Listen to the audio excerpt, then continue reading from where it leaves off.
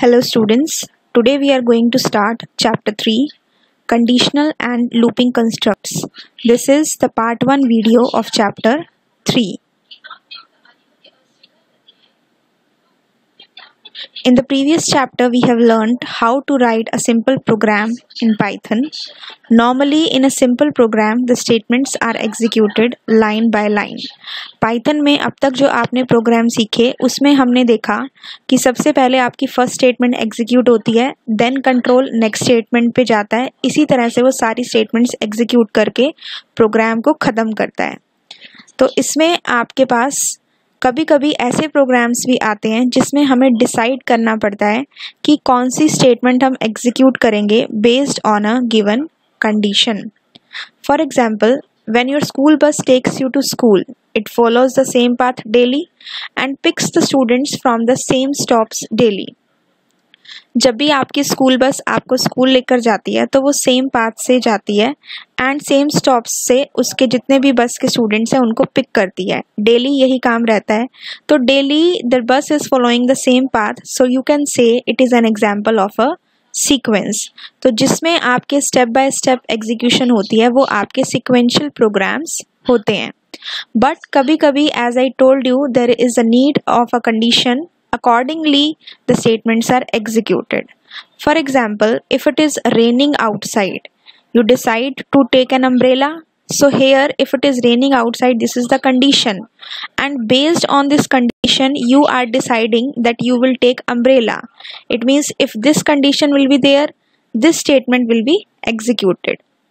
But if it is not raining then you decide not to take the umbrella so in this case the condition which was present earlier now it becomes false so if the condition is false then the second statement will be executed these types of programs means ऐसे program जिसमें आप किसी condition के true या false होने के base पे कोई पर्टिकुलर स्टेटमेंट एग्जीक्यूट कराते हैं तो वो आपके होते हैं conditional programs let us take one more example. Like all of you have now come in class 11th so after the class 10th you decide that which stream you have to choose based upon your interest. So your interest is the condition that this is my interest i should go for this stream. Condition is here is the interest and whatever stream you will take that will be the statement that will be executed. Like your interest is in arts subjects like geography history so you will take art stream. Yours if your interest is in chemistry physics and biology you will take the medical or non-medical stream. And if your interest is in other subjects like business studies and accountancy then accordingly you will take the commerce stream. So it is the condition that is your interest on which the output will be based. So, any program in which the output or the statement is executed based on a condition that are known as conditional program.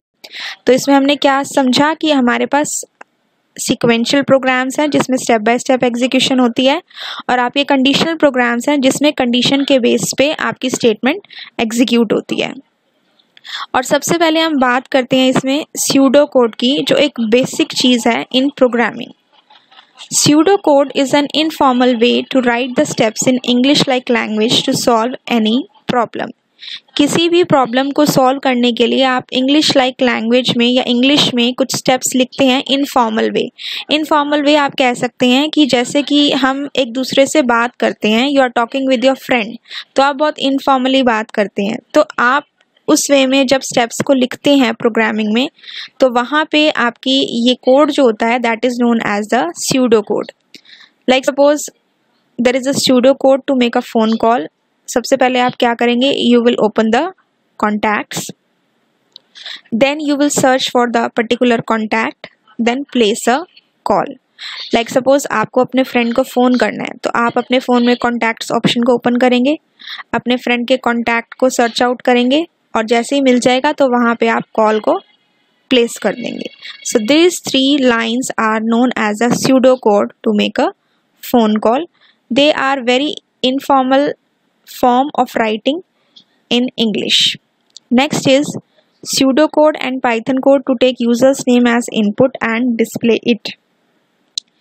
इसमें आपके पास दो चीज़ें हैं। This is your pseudo code and this is your Python code आपको user से उसका name लेना है इनपुट कराना है और फिर उसे आपको प्रिंट कराना है। तो अगर सिंपल लैंग्वेज में हम स्यूडो कोड की बात करें तो पहला हो गया आपका इनपुट यूज़र नेम आपने यूज़र से उसका नेम ले लिया then print user name simple दो स्टेटमेंट्स हैं। इंग्लिश में हमने लिखा this is the pseudo code अब यही चीज़ अगर आपको पाइथन में लिखनी है तो आपको ये पता है कि अगर आपको यूज़र से कोई भी चीज़ इनपुट करानी है तो हम कौन से फ़ंक्शन का यूज़ करते हैं? इनपुट फ़ंक्शन का। और अगर आपको यूज़र को कोई भी चीज़ डिस्प्ले करानी है तो आप कौन से फ़ंक्शन का यूज़ करते हैं? प्रिंट फ़ंक्शन का। और इनपुट और प्रिंट फ़ंक्शन में जो भी करेक्टर्स लेटर्स आप डबल कोट्स सिंगल कोट्स में टाइप करते हैं, वो सारे आपके एज इट इज़ स्क्रीन पे डिस्प्ले किए जाते हैं। अब यहाँ पे हमने क्या किया? हमने एक वेरिएबल लिया name equals to input enter your name तो ये क्या करेगा? यूज़र से नेम एंटर कराएगा, जो कि नेम नाम के वेरिएबल में स्टोर हो जाएगा। Then it says print my name is name तो जब प्रिंट होगा तो उस केस में ये जो आपका माई नेम इज़ ये एज इट इज़ आपका स्क्रीन पे आएगा, लेकिन क्या ये नेम एज इट इज़ आएगा? एन ए एम ही लिखा हुआ आएगा? नहीं। क्योंकि यहाँ पे सिंगल या डबल कोट्स नहीं लगे हुए। यहाँ पे जो नेम यूज़र ने प्रोवाइड किया था मीन्स जो आप नेम प्रोवाइड करोगे, वो नेम यहाँ पे आएगा। जैसे मान लो यूज़र ने नेम दिया ए बी सी तो प्रिंट में आपका आएगा my name is A B C तो ये हमारा हुआ स्यूडो कोड और ये है आपका Python code the next topic is flow chart flow chart chart आपको पता है क्या होता है? किसी भी चीज़ को ग्राफिक फॉर्म में दिखाता है एक चार्ट पिक्चर की फॉर्म में, और फ्लो मीन्स किस तरह से एग्जीक्यूशन हो रही है। तो आप फ्लो चार्ट को क्या कह सकते हैं? A pictorial representation of step by step execution of a program एक प्रोग्राम में एग्जीक्यूशन किस तरह से हो रही है? उसको पिक्चर की फॉर्म में अगर रिप्रेजेंट किया जाए तो वो आपका होता है फ्लो चार्ट इसके अंदर कुछ सिंबल्स होते हैं जो हम यूज़ करते हैं बनाने के लिए। जनरली किसी भी प्रोग्राम के अंदर तीन चीज़ें होती हैं। First is the input second is the processing and third is the output जब भी आप अपना कोई भी फ्लो चार्ट ड्रॉ करेंगे तो सबसे पहले आपका सिंबल रहेगा this symbol which is known as start और एंड सिंबल आपको स्टार्ट भी इसी सिंबल से करना है, आपको एंड भी इसी सिंबल से करना है। और इससे आपका स्टार्टिंग और एंडिंग पॉइंट डिनोट होता है। Then second is this arrow symbol इसे हम एरो बोलते हैं या फिर कनेक्टर भी बोलते हैं। इसको हम एक सिंबल को दूसरे सिंबल से कनेक्ट करने के लिए यूज़ करते हैं, जो कि उनका रिलेशनशिप शो करता है। नेक्स्ट इज़ ये पैरेललोग्राम सिंबल जो आपको दिख रहा है it is known as the input output symbol. अगर हम यूज़र से कोई इनपुट ले रहे हैं या अपनी तरफ़ से कोई इनपुट दे रहे हैं तो वो सारा आप इनपुट बॉक्स में लिखेंगे। सिमिलरली अगर आप यूज़र को कोई प्रिंट स्टेटमेंट दे रहे हैं या आउटपुट करा रहे हैं तो वो भी आप इसी स्टेटमेंट में, इसी बॉक्स में लिखेंगे। नेक्स्ट इज़ प्रोसेस बॉक्स ये रेक्टेंगल शेप जो आपके सिंबल है this is the process box जो भी आप इसके अंदर प्रोसेसिंग करेंगे, जैसे मान लीजिए आप दो नंबर्स को ऐड करा रहे हो sum equals to A plus B तो जो भी हम वेरिएबल्स के ऊपर काम कर रहे हैं नंबर्स के ऊपर काम कर रहे हैं, वो प्रोसेसिंग आपकी किसमें होगी? प्रोसेसिंग बॉक्स में होगी। तो इसकी शेप आपकी कैसी रहती है? Rectangle and this is the decision symbol diamond shape में होता है ये। जब भी आपको कोई डिसीज़न लेना होता है तो हम डिसीज़न सिंबल का यूज़ करते हैं। let us revise it once again. Start stop or start and symbol to start or end a program or a flowchart. Arrow or connector to show the relationship between the various symbols. Input output symbol to take the input and give the output. Its shape is parallelogram. Rectangle symbol it is for processing and it is generally used for doing the operation on the variables. And the last is the decision symbol. Which is in the shape of a diamond used to take the decision okay now there is a flow chart an example of flow chart to find the average of the three numbers अभी हमने क्या पढ़ा कि जब भी हमें कोई भी फ्लो चार्ट स्टार्ट करना होता है तो हम कहाँ से स्टार्ट करते हैं इस सिंबल से आपको स्टार्ट भी इसी से करना है आपको स्टॉप भी इसी से करना है इतना क्लियर हुआ अब सबसे पहले आप क्वेश्चन को देखिए we need to find the average of three numbers तो हमें जो जो चाहिए वो हमारा इनपुट होगा। उसके ऊपर जो हम काम करेंगे, वो आपकी प्रोसेसिंग होगी। और उससे जो रिज़ल्ट निकल के आएगा, वो हम यूज़र को देंगे तो वो हमारा आउटपुट होगा। इसे समझते हैं। सबसे पहले हमने स्टार्ट सिंबल को यूज़ किया। देन हमें थ्री नंबर्स की रिक्वायरमेंट है। तो ये थ्री नंबर्स हमें यूज़र से लेने पड़ेंगे। और इनपुट के लिए हमारा कौन सा सिंबल होता है? पैलेलोग्राम शेप का सिंबल होता है, जिसे हम इनपुट आउटपुट सिंबल बोलते हैं। तो हमने बोला input A comma B comma C input हो गया। अब हमें क्या करना है? प्रोसेसिंग तो जब हम प्रोसेसिंग पार्ट पे आए तो एवरेज क्या होता है? किसी भी थ्री नंबर्स का या किसी भी नंबर का, कि उन सब नंबर्स को ऐड करके जितने वो नंबर हैं, उससे हम उसे डिवाइड कर दें अभी हमें थ्री नंबर्स का एवरेज निकालना है तो हम करेंगे A plus B plus C और तीनों को ऐड करके जो आएगा, उसको थ्री से डिवाइड कर देंगे। तो वो हमारा किसमें स्टोर हो गया? एवरेज में। और ये हमारा कौन सा बॉक्स है? प्रोसेसिंग बॉक्स आफ्टर दैट हमने यहाँ पे आउटपुट को प्रिंट कराना है। तो जो हमारा इनपुट बॉक्स होता है, वही हम आउटपुट के लिए भी यूज़ करते हैं।